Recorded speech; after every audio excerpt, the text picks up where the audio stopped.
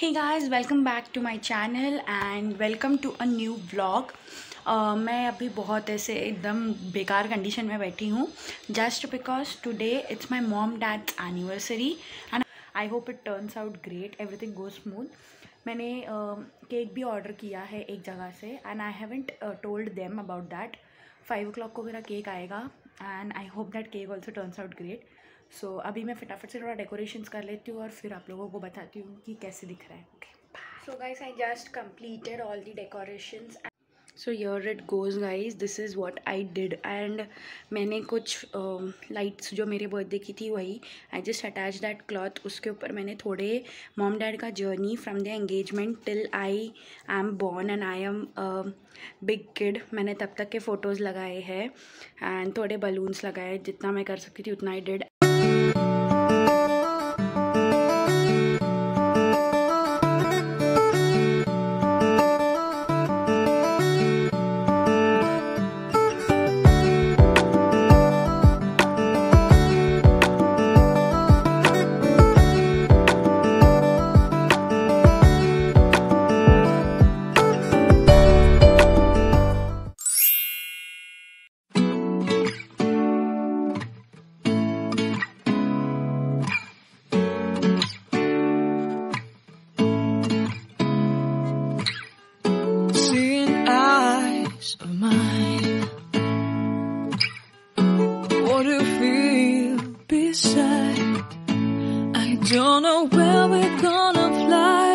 you did sometimes.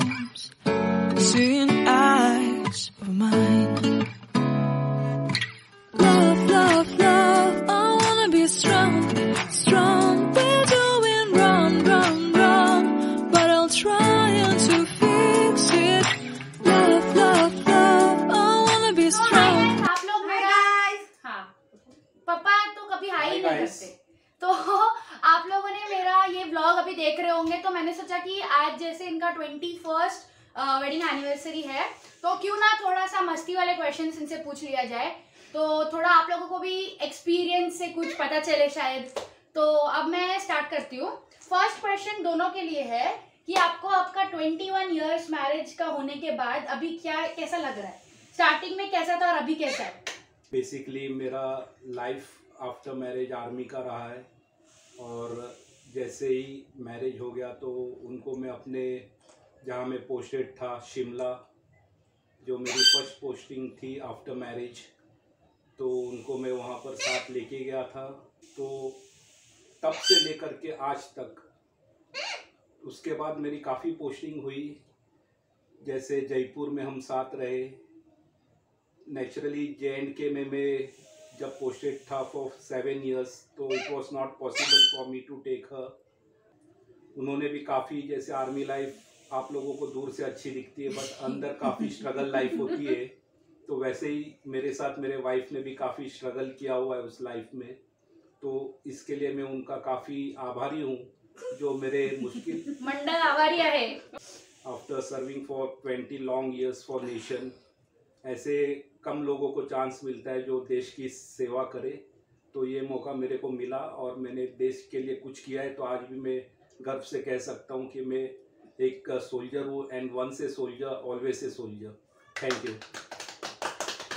तो अभी आप लोगों ने मेरे पापा का पूरा स्टोरी समराइज करके डैडी ने बोला है, वो सुन लिया होगा. And I had already told you guys that my dad is an army retired person तो हमने बहुत ज़्यादा कुछ उनके साथ, मैंने तो स्टिल बहुत कम बट मम्मी ने बहुत ज़्यादा उनके साथ पोस्टिंग की वजह से बहुत सारी चीज़ एक्सपीरियंस की है.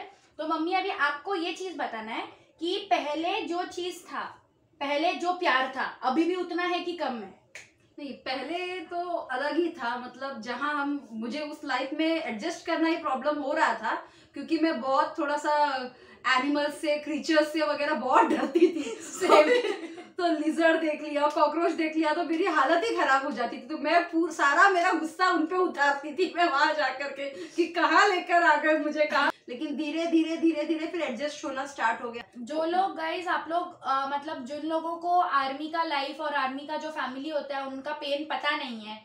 Many people make fun out of it and उन लोग को लगता है कि बहुत ईजी है इन लोग क्यों इतना बोलते? But it's like when you don't go through that shoes you won't understand what is that so basically मेरा एक ही आप लोगों को इससे बताना था कि अगर आपको पता नहीं है so don't comment on it please और अभी नेक्स्ट क्वेश्चन मम्मी पूछा था कि स्टार्टिंग में जो प्यार था वो अभी कम है कि क्या फ़र्क क्या पड़ा है? जो स्टार्टिंग में एकदम इस क्वेश्चन का आंसर